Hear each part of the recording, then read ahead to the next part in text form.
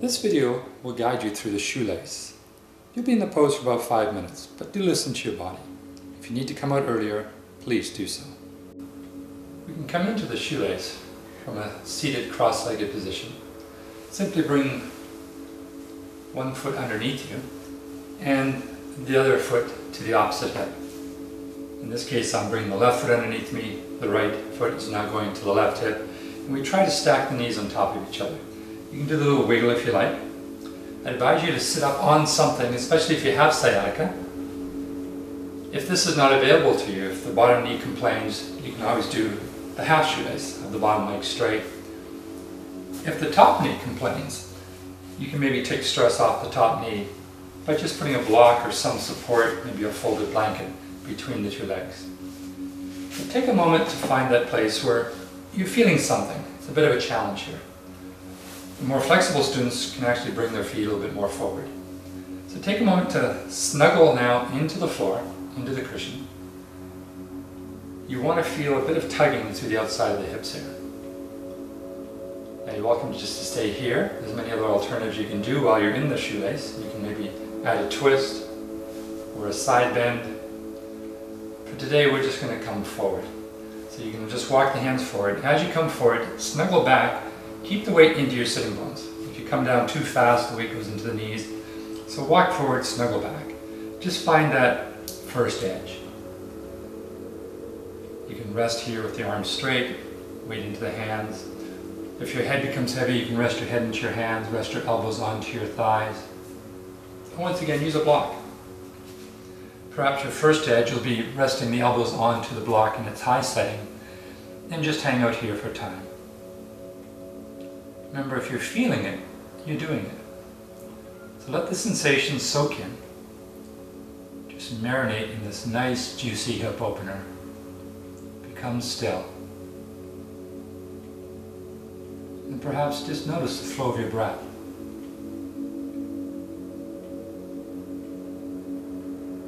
Notice your in breath. Notice your out breath.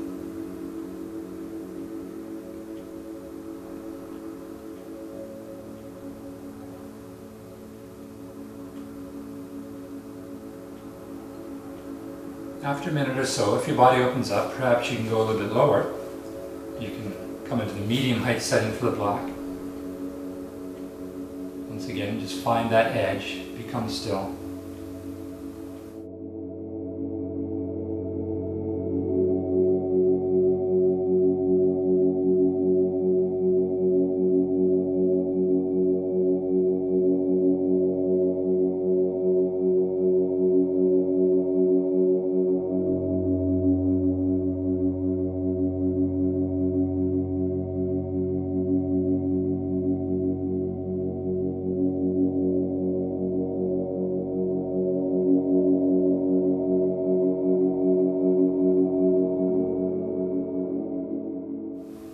Body's opened up a bit more, perhaps come to the low block setting, or if you're more flexible, hands right to the floor.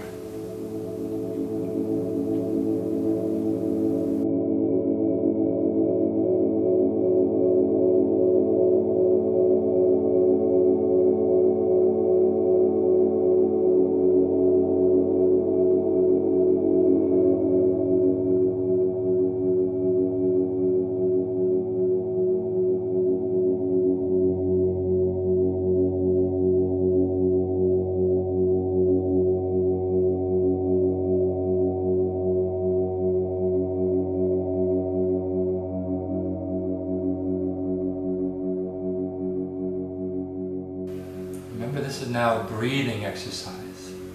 Just allow the breath to flow through you. And since this can be so juicy for the hips, perhaps you just want to pay attention to the sensations that you're experiencing. So rather than run away from the sensations, investigate them. Really climb inside the now experience that you're having.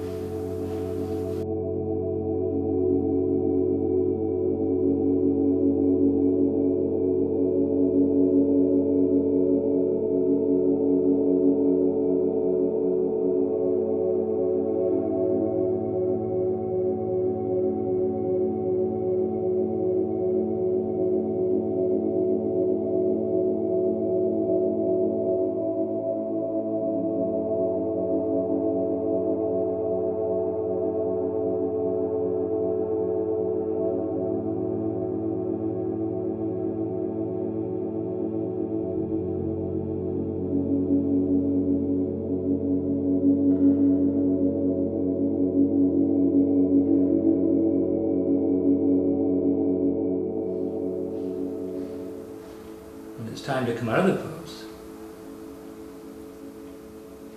Push the floor away. You want to come out slowly, gingerly. You come on up. Before you move the legs, lean back in your hands. Roll the top hips away.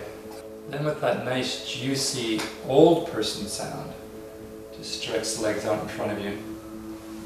Bounce out the knees. Just did an external rotation of the hips, so a nice counter pose is an internal rotation through the windshield wipers. Simply drop the knees from side to side. We are also flexing the spine, so if you'd like a counter pose for the spine, you could do the tabletop. Just lift the hips up and down a few times. And then you're ready to do the other side. Or to go on to the next pose if you've already done this twice. Come into the other side, make sure you do do the other side. So if you had the left foot underneath last time, have the right foot underneath